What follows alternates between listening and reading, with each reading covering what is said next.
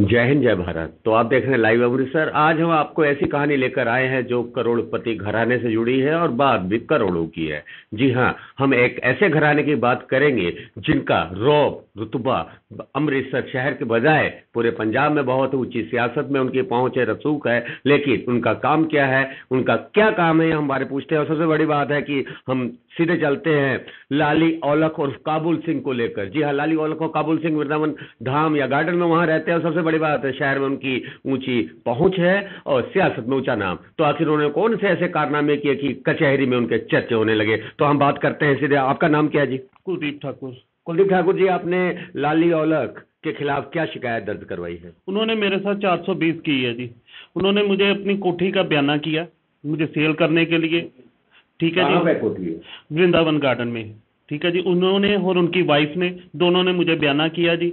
उसके बाद बैंक का लोन था, वो नहीं उन्हें मेरे से पैसे लेके वो उतारना था, वो नहीं उतारा। उसके बाद उन्होंने किसी और को कोठी का बयाना कर दिया।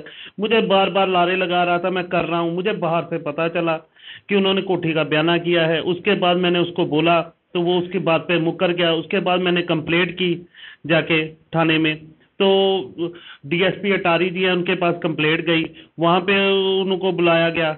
वो वहाँ पे से भी भाग गए। फिर उन्होंने किसी को बीच में डाला। एक थे वो तहसीलदार सलवान जी, एक रवि महाजन एडवोकेट थे, और थे चार जने। उन्होंने मिलकर मुझे उसको खत्म करने के लिए, राजीनामे के लिए बोला। उसके बाद भी वो वहाँ से भी वो भाग गया। पहले उसने मुझे छह तारीख का चेक दिया। वो चेक भी उसने उसकी इंटेंशनली जो है ना सोच ये अभी चार सौ भी करनी है। सोलह लाख का चेक काटा ऊपर लिख दिया अभी सोलह हज़ार लिख दिया।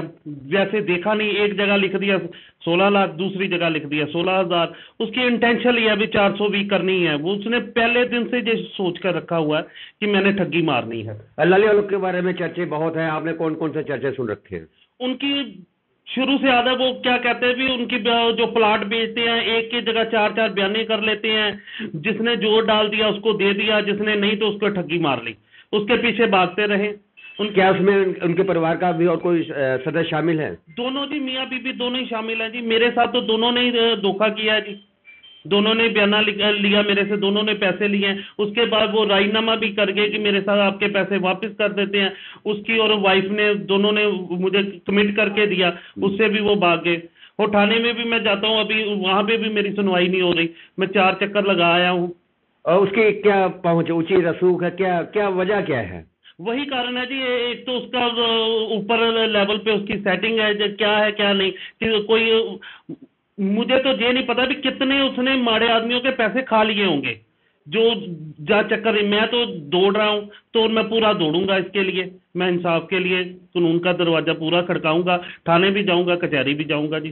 तो ये कैसी व्यथा थी, एक आम नागरिक की, और सबसे बड़ी बात है लाली कोल काबुल सिंह ने उनको इस काबिल नहीं रहने दिया कि कम से कम सुख चैन की नींद सो सके। आज एक कचहरे को चक्कर लगा रहे मामला करोड़ों का है, और करोड़ की जायदाद के पीछे शातिर दिमाग है। और शातिर दिमाग किसका क्योंकि इसका पहले भी लाली और सिविल लाइन थाने में नामजद हुए थे। जी हाँ गाड़ी बेचने का कोई चार सौ बीस हुई थी। उस मामले में क्या हुआ? पुलिस अभी तक जाँच कर रही है। कोर्ट कचहरी के चक्कर लगा लगा कर लाली और लख और काबिल सिंह, एक सियासत का मज़ा हुआ खिलाड़ी तो साथ साथ एक कानूनी जानकार पेशदार उन्होंने ऐसी एक कहानियाँ लिखी है, जो कहानियों की पत्ते खुलना भी बाकी है तो पहली पढ़ती फिर हम ऐसे ही और भी कहानियों के साथ लाएँगे और जाने का लाली औलख का बयान और जाने के सारे मामले में क्या हुई है कार्रवाई तो आप देखते रहिए लाइव अमृतसर को। Hello, Jain sir. ਜੈਨ ਜੀ। ਜਨਾਬ ਮੈਂ ਲਾਈਵ ਅੰਮ੍ਰਿਤਸਰ ਤੋਂ ਬੋਲ ਰਿਹਾ ਮੈਂ ਲਾਲੀ ਵਾਲਾ ਤੇ ਕਾਬਲ ਸਿੰਘ ਜੀ ਨਾਲ ਗੱਲ ਕਰ ਰਿਹਾ। ਹਾਂਜੀ ਹਾਂਜੀ। ਹਾਂਜੀ ਜਨਾਬ ਤੁਸੀਂ ਵਿਟਾਮਿਨ ਗਾਰਡਨ ਦੀ ਕੋਈ ਆਪਣੀ ਕੋਠੀ ਦਾ ਕੋਈ ਸੌਦਾ ਕੀਤਾ ਸੀ? ਕਿਸੇ ਹੈਪੀ ਤੇ ਹੈਪੀ ਨਾਮ ਢਾਬੇ ਵਾਲਾ ਜਿਹੜਾ ਹੈਗਾ ਕੁਲਦੀਪ ਠਾਕੁਰ ਦੇ ਨਾਲ ਕੋਈ ਸੌਦਾ ਕੀਤਾ ਸੀ? ਹਾਂਜੀ ਕੀਤਾ ਜੀ। ਤੇ ਉਸ ਮਾਮਲੇ ਵਿੱਚ ਜਿਹੜਾ ਤੁਸੀਂ ਚੈੱਕ ਦਿੱਤਾ ਸੀ 16 ਲੱਖ ਤੇ ਅੱਗੇ ਉਹ 1000 ਲਿਖਿਆ ਗਿਆ ਉਸ ਮਾਮਲੇ 'ਚ ਕੋਈ ਤੁਹਾਡਾ ਜੇਪੀ ਸਲਮਾਨ ਤਹਿਸੀਲਦਾਰ ਜਿਹੜੇ ਐਸਡੀਐਮ ਸਾਹਿਬ ਨੇ ਜਾਂ ਰਵੀ ਮੇਰਾ ਨਾ ਸੋਮਵਾਰ ਦਾ ਕੱਲ ਰਾਤੀ ਮੇਰੀ ਗੱਲ ਹੋਈ ਸੀ ਠਾਕਰ ਜੀ ਨਾਲ।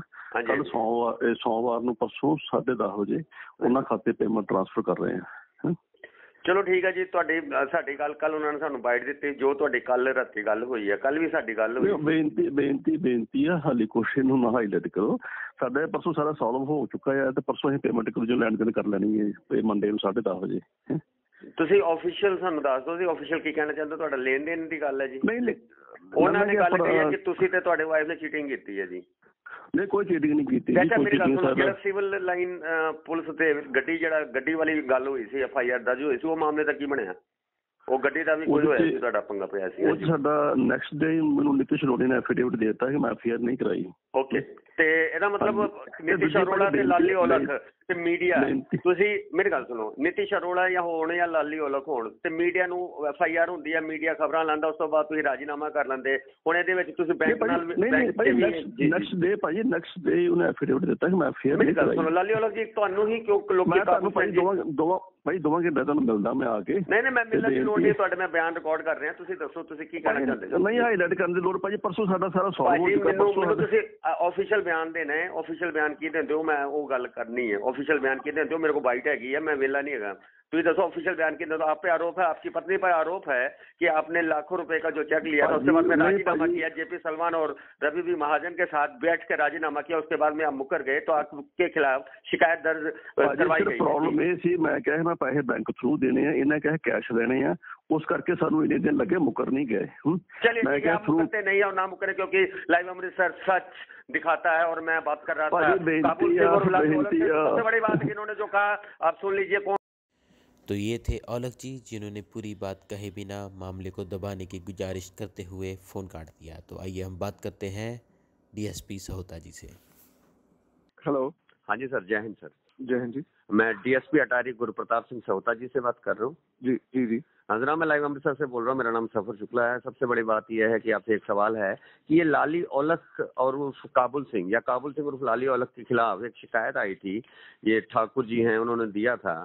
तो उस मामले में क्या बातचीत आगे कुछ बढ़ी उस मामले में? चल रही है तफ्तीश आप अभी चल रही है तफ्तीश चलिए तफ्तीश चल रही है तो आपने हमसे लाइव अमृतसर से बात किया बहुत बहुत आपका धन्यवाद। ठीक ठीक। जय हिंद सर।